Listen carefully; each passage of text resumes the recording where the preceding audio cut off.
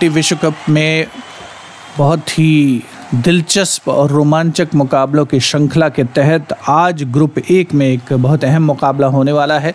दरअसल एक क्या बल्कि दो अहम मुकाबले होने वाले हैं और उनमें से पहला जो मैच है, वो शेख जायद स्टेडियम पर खेला जाएगा, जिसमें ऑस्ट्रेलिया की टीम वेस्ट इंडीज़ का सामना करेगी और ख़बर वहाँ से ये आ रही है, आप तक पहुँच चुकी है कि ऑस्ट्रेलिया ने टॉस जीता है पहले। गेंदबाजी करने का फैसला किया है। मैं हूँ शिवेंद्र चतुर्वेदी। मेरे साथ हैं मेरे साथी कमेंटेटर पंकज आठवले, हमारे स्कोरर ओम प्रकाश शर्मा स्टेटिस्टिशियन मनोज कुमार और इस पूरी टीम के साथ आप सभी का बहुत बहुत स्वागत और अभिनंदन। हम सभी जानते हैं कि दो ग्रुप हैं सुपर बारह में जो टीमें खेल रही हैं और उसमें जो शीर्ष दो टीमें होंगी दो दो ग्रुप्स में, वो अंतिम चार में जगह बनाएँगी। स्वागत पंकज आपका।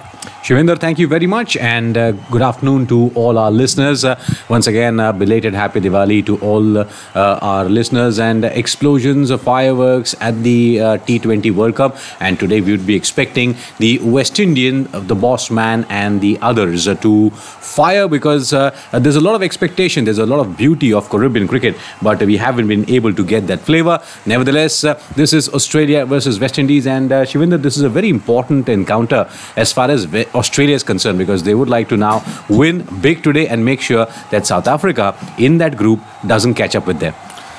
बिल्कुल जैसा हमने कहा कि एक नहीं बल्कि दो बहुत दिलचस्प मुकाबले हैं और ऑस्ट्रेलिया की टीम अगर ये मैच जीतती है तो लगभग निश्चित हो जाएगा उनका सेमीफाइनल में पहुँचना अगर लेकिन वेस्ट इंडीज़ जीतते हैं और वहाँ जो इंग्लैंड और दक्षिण अफ्रीका इसके मैच के बाद खेलेंगे, वहाँ पर अगर इंग्लैंड अपना मैच जीतता है, दक्षिण अफ्रीका हारता है, तमाम परमिटेशन कॉम्बिनेशन हैं, लेकिन हाँ एक बात तो पक्की लग रही है कि ऑस्ट्रेलिया और दक्षिण अफ्रीका दोनों के बीच में मुकाबला है अंतिम चार में जगह बनाने के लिए, क्योंकि इंग्लैंड की टीम ने अपने चारों मैच जीते हुए। Very much. And today, uh, how will this pitch behave? It has been a very interesting track. There have been a couple of tracks on this particular square where the ball has bounced really, very well. We saw in that match against Bangladesh. There are other tracks where uh, the ball uh, comes in a very sticky manner, and uh, we'll have to see